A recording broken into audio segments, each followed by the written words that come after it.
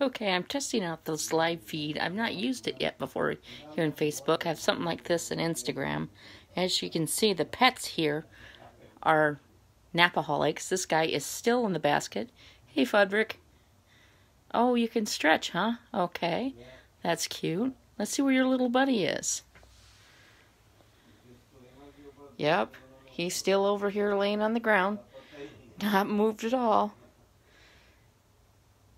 Man, the life of you guys. The life of a corgi. The life of a kitty. Man, all the fun in my office, huh? That basket's pretty cool. It keeps you off all my packing supplies, doesn't it? Uh, bad news to get kitty and tape. Man. oh man. Come on, buddy. You gotta you gotta smile.